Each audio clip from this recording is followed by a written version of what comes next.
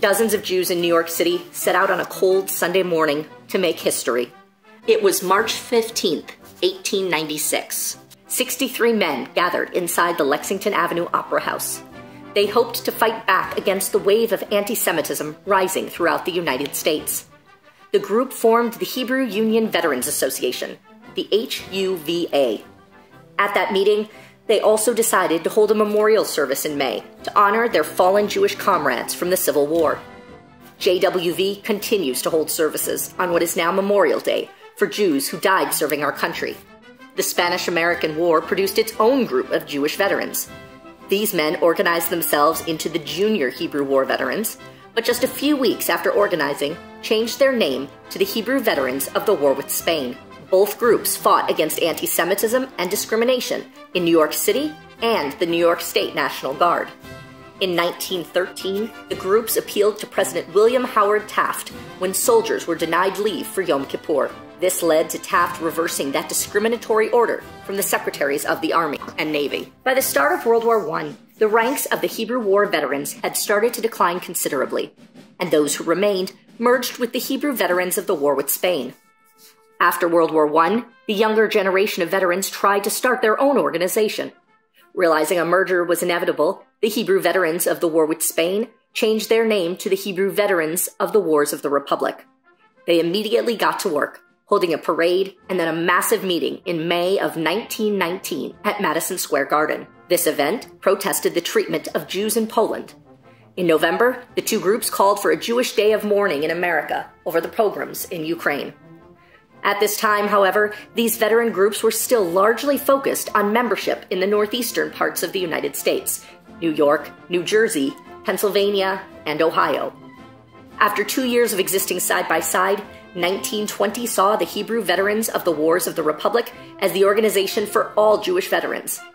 In 1922, the organization became the Jewish Veterans of the Wars of the Republic, and then officially adopted its modern name, the Jewish War Veterans of the USA, in 1929. This marked the start of JWV as a truly national organization. Between 1930 and 1939, JWV grew from just 30 posts to 277. In 1927, JWV fought for legislation to ensure graves of Jewish service members who died in World War I in France were marked with a Star of David. When Adolf Hitler became Chancellor of Germany in January of 1933, just one American voice spoke out against him the Jewish war veterans. Within six weeks, JWV called for a boycott of German goods. JWV organized a parade of more than 4,000 veterans in New York City on March 23, 1933. The parade ended at City Hall, where the mayor publicly endorsed the boycott and called for diplomatic protests of German cruelty by the Roosevelt administration. According to past National Commander Abraham Kraditer, for several months our organization was the only one which advocated this peaceful weapon against the disturber of world peace. Kraditer added that most other organizations severely criticized and condemned the JWV for advocating the boycott. JWV also strongly advocated for a U.S. boycott of the 1936 Berlin Olympics. From the time the United States entered World War II in December of 1941 until August of 1945, the Jewish war veterans went all out in support of the war effort. The National Executive Committee held a meeting on December 18, 1941 it created an emergency program for victory.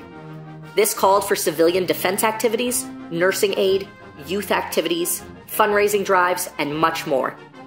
A fundraising campaign helped raise enough money for JWV to purchase six fighter planes for the military. Each cost $200,000. The first was named the Star of David. JWV also purchased 25 ambulances and several field kitchens. Another program sent playing cards and other entertainment items to military personnel. At the request of JWV, the Department of the Navy even commissioned several ships which were named after Jewish naval heroes, including the USS Uriah Levy. The organization also established the Adopt a Yank program.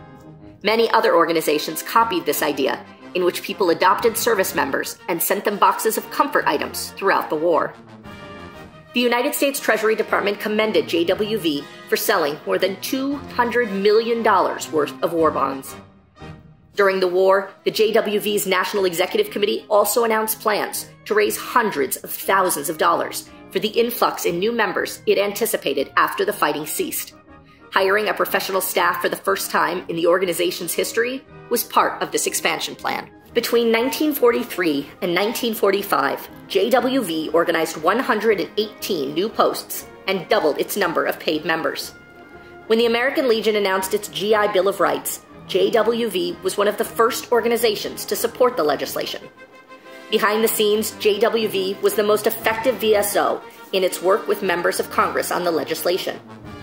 JWV is credited with starting the first letter writing campaign, which proved so successful the GI Bill passed in the next two months, by June of 1944. The American Legion said JWV's greatest contribution to the GI Bill was its aggressive push for racial and religious protections. JWV stood out from many veteran organizations for its strong opinions about the equality of black Americans who had fought alongside them. American Jews still had to deal with strong anti Semitism, but felt it did not compare to the prejudice faced by blacks in the United States and were disturbed that black veterans returned to the same ignorance and abuse as they had experienced before the war. The Jewish war veterans joined with prominent black leaders in the fight for civil rights. It is the only VSO known to have participated in the March on Washington with Dr. Martin Luther King Jr. JWV was also alone for quite some time in speaking out on behalf of the Japanese American community's efforts to seek redress for internment during the war. After the war, the federal government started the Department of Veterans Affairs Voluntary Service.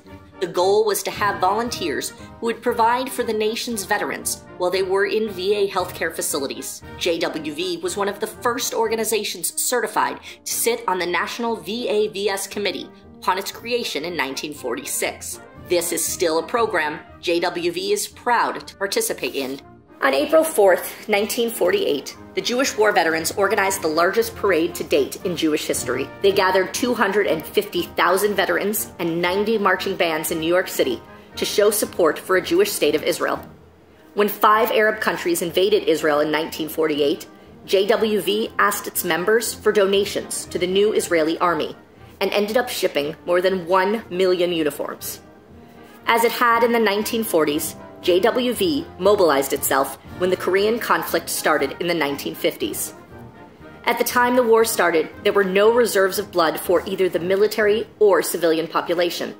But JWV pledged to fix this shortage as its special wartime project. William Levin, chairman of the JWV National Blood Donor Committee, sent out an urgent request to posts across the country. He asked each post to pledge an annual donation of three pints per member. The Post reached this goal by 1951. The organization is credited with donating the first 100 pints of blood sent to Korea. JWV sponsored National Baseball Blood Month in 1952.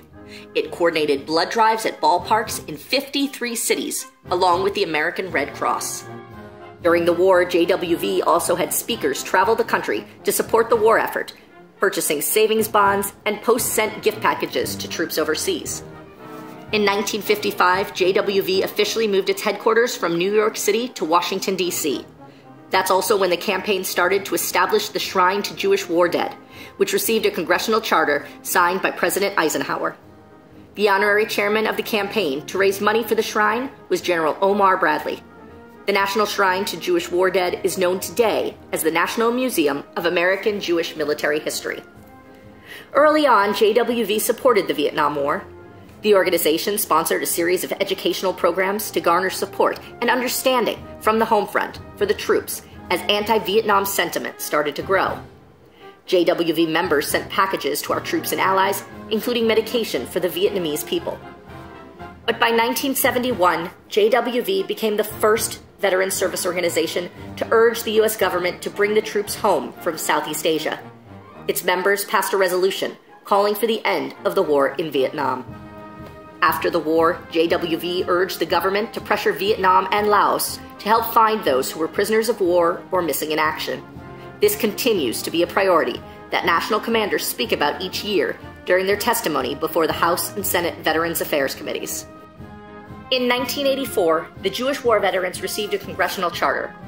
That same year, JWV and the National Shrine to Jewish War Dead moved to its current home on R Street in Northwest DC. Vice President George H.W. Bush presided over the dedication ceremony for the building and helped nail a mezuzah in the doorway. In 1989, JWV started its annual Allied mission trip to Israel.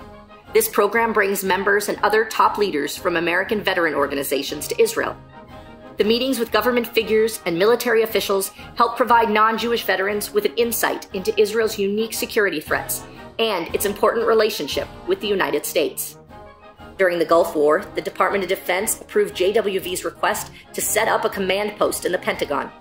Members who were retired field officers with prior military duty at the Pentagon manned the desk.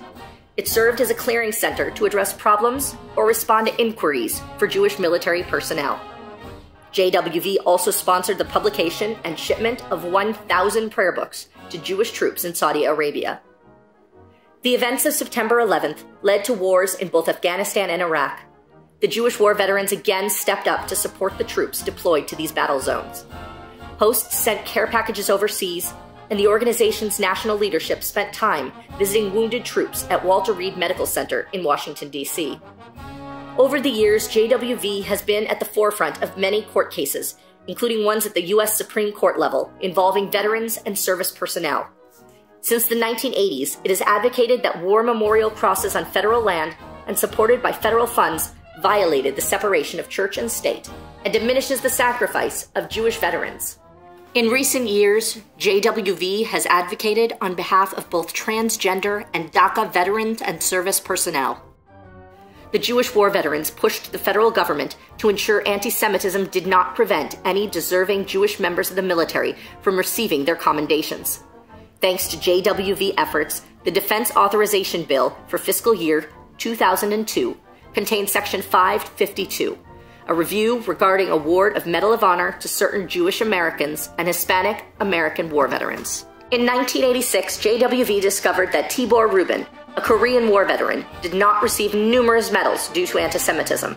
That kicked off a more than 20 year quest to fix that injustice. JWV lobbied members of Congress, collected thousands of signatures on petitions, interviewed survivors who were with him in a POW camp, and those who fought alongside him. In 2005, Rubin became the first Holocaust survivor to receive the Medal of Honor. JWV member Erwin Burtnick worked with the family of William Shemin for five years to ensure he received a Medal of Honor for his heroic actions in World War I.